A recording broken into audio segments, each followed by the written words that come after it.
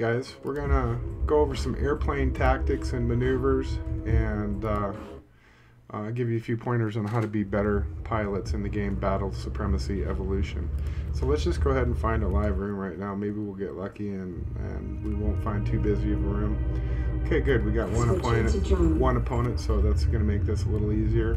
Taking aircraft So, since we're talking about aerial combat, um, you're looking at two different versions of combat. You have air to air combat, and you're going to have air to ground combat.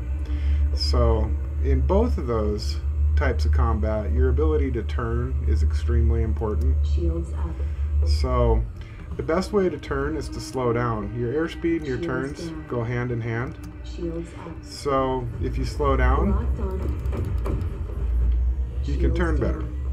better. Um, you also notice that if I just let go of the throttle altogether, that the plane still flies and it still maneuvers, or well, it doesn't maneuver itself, but it still throttles itself, and you're going at a fairly slow pace. Um, you should also note, though, that at that slower pace, that the plane is going to maneuver much better. Your airspeed and your ability to turn go hand in hand.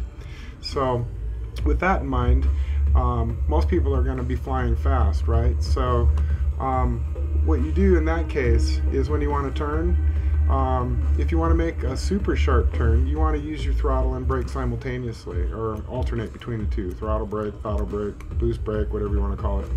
And you see how tight I made that turn? So, um, when you translate that into air to air combat, if you can get yourself turned around faster, you're going to be much more effective. So, now I'm going to talk about two different uh, strategies for air to ground combat. The first one I call dive bombing, and the second one I call hit and run. So when you hit and run, you, you turn your shields on. Whoops, I went and screwed myself all up here. Switching to drone. Let's get our aircraft back. Morphing into aircraft. See, it happens to the best of us.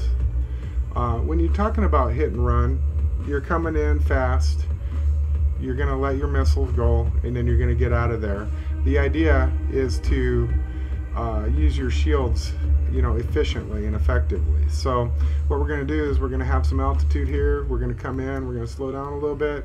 Locked on. We're gonna figure out where our target's at. We lost him. We didn't find him. Okay, there he is. So we're gonna come back Shields around. I'm gonna get my shields on. Boom, boom, boom. Hit and run. I'm out of there. He is gonna have a hard time hitting me now because I just went the other direction. My shields are gonna go back up. Uh, we're gonna come back after him Shields down. and bang, bang, bang, bang. Okay, that's hit and run.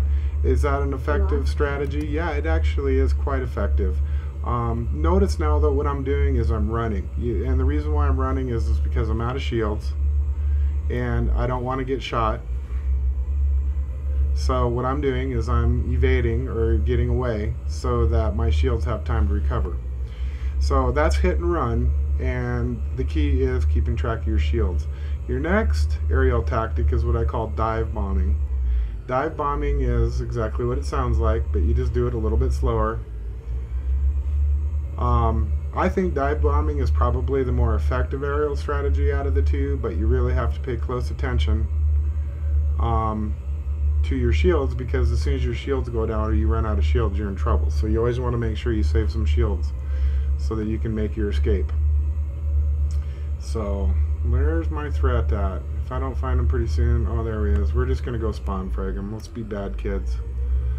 So, okay, I'm going to get my altitude. I'm getting my brakes on. Okay, what I'm doing is I'm looking for him. There we go. Okay, now I'm riding the brakes down. And I'm keeping my shields on. And that's a dive bomb.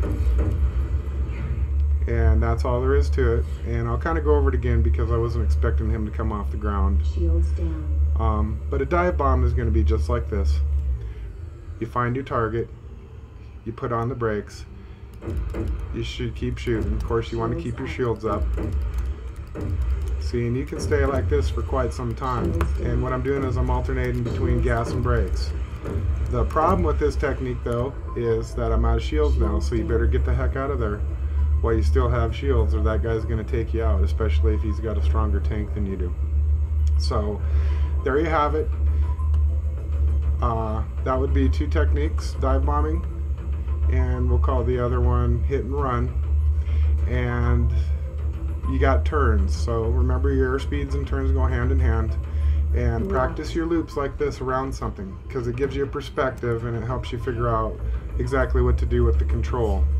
So if you practice your loops where you can see what's going on, like around the mothership, it helps you keep your controls better or more straight.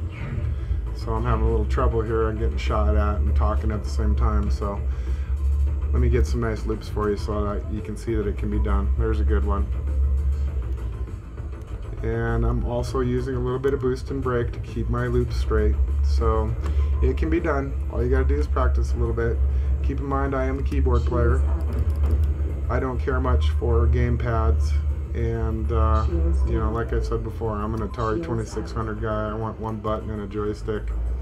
So, but with that being said, you know, that's pretty much what you have here with this airplane. You have two buttons on the keyboard that I'm primary, primarily using while I'm flying the plane.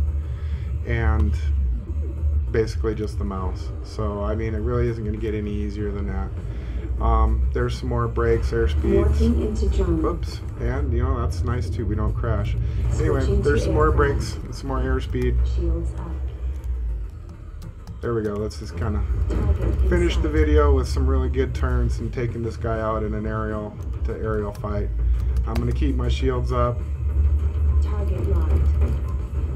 and there you go. Simple as that. Tight turns, slow down. Your turns will get better.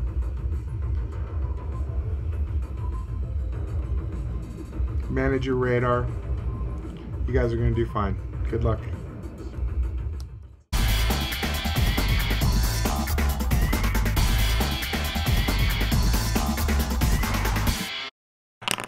Yeehaw, I got snake eyes.